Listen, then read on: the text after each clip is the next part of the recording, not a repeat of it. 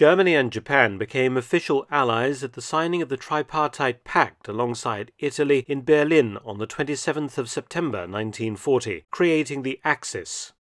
Each nation had its own territorial ambitions. Nazi Germany had successfully conquered Poland and most of Western Europe.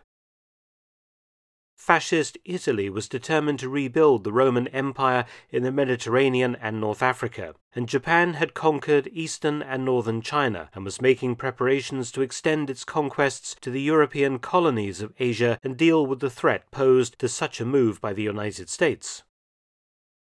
In Southeast Asia, Japan was keen to put troops and air bases into French Indochina, now the countries of Vietnam, Laos, and Cambodia, and within aerial striking distance of British possessions in Malaya. However, Indochina was technically an ally, as most of the overseas French Empire had declared itself loyal to the new Vichy regime established in France following the German conquest Vichy was technically pro German, and the French maintained military and naval forces to guard their colonies. Though Germany and Japan did not become formal allies until the 27th of September 1940, they were de facto allies long before that date and collaborated diplomatically and militarily. The French colony of Indochina was therefore, after the German conquest of France, the territory of a friendly government, at least officially. Japan was unhappy because weapons and fuel were flowing via French Indochina to neighboring China to aid Chiang Kai shek's Chinese forces resisting the Japanese. The Japanese wanted to occupy Tonkin in today's northern Vietnam to cut off this supply coming via the port of Haiphong, which then flowed into China via a railway to the city of Kunming. Effectively, they wanted a blockade of China.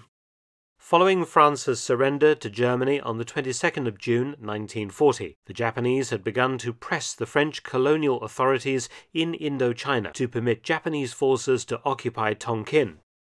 The French warned the Japanese against any such move. In July 1940, the French forces available to defend Indochina were quite small 32,000 regular troops plus 17,000 auxiliaries. Further negotiations opened in Hanoi, capital of French Indochina, on the 3rd of September 1940 to resolve the Japanese demands. The Vichy government wanted German diplomatic assistance, but Hitler stayed out of the dispute.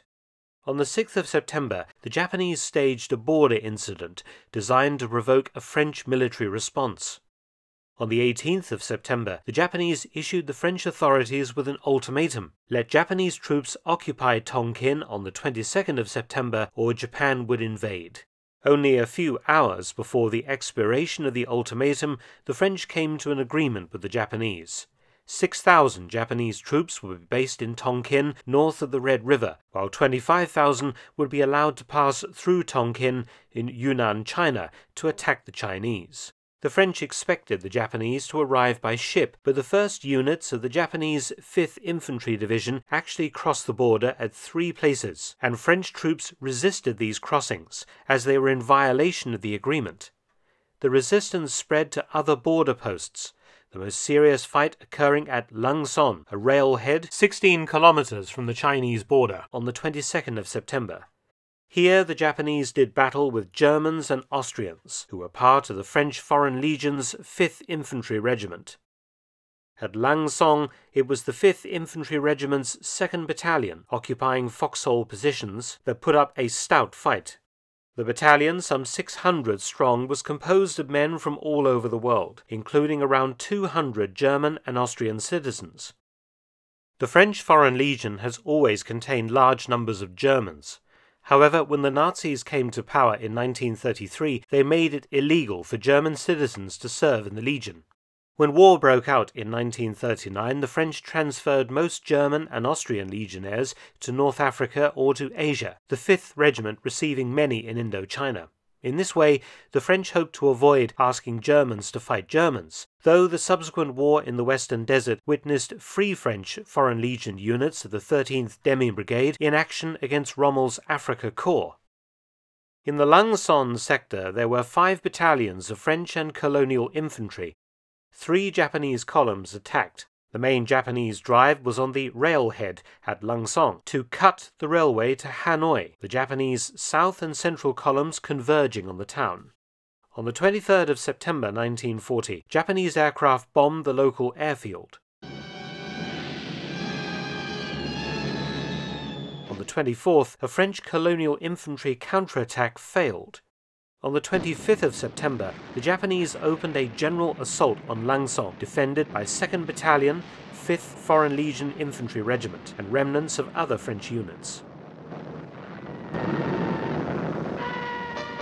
Heavy Japanese artillery fire blasted the Foreign Legion positions, and the French lacked air and effective artillery support. After three hours of stout resistance and having sustained over 30 dead, the 5th Foreign Legion Regiment and the others in other units opened negotiations with the Japanese. At 10:40 a.m., the French surrendered. The Japanese forces, leaving a rearguard to deal with the prisoners, pressed on south towards Hanoi, as Japanese troops staged amphibious landings in the Gulf of Tonkin. In the meantime, hurried diplomatic negotiations to end the skirmishing were successful by the evening of the 26th of September. The following day, in Berlin, Japan signed the Tripartite Pact with Nazi Germany and Fascist Italy. The Japanese were very interested in the fact that the 2nd Battalion, 5th Foreign Legion Infantry Regiment contained almost 200 German and Austrian legionnaires, in mid October 1940, the Japanese released all of the other Foreign Legion prisoners except the Germans and Austrians. They determined to recruit these men to the Axis cause, but without success. Vichy French troops remained on duty in French Indochina alongside their dangerous new neighbors until they were formally invaded by the Japanese on the 28th of July 1941. French civil and military administration continued, however, but under Japanese supervision. Following D Day and the liberation of France in 1944, the Japanese suspected that Vichy forces in Indochina might assist the Allies against the Japanese. Accordingly, in spring 1945, Japanese forces disarmed the remaining French troops and imprisoned all French nationals and servicemen until the end of the war. Many French Foreign Legion units and individuals managed to trek overland to China to areas controlled by Chiang Kai shek's nationalists.